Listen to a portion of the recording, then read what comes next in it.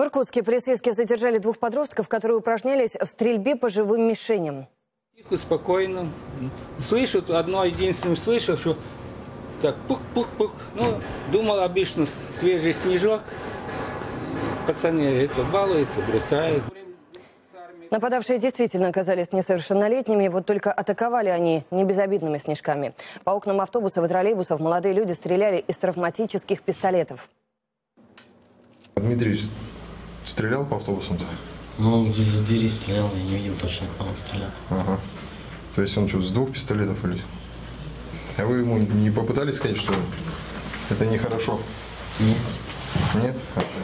Ну, я думаю, у него своя голова плечах.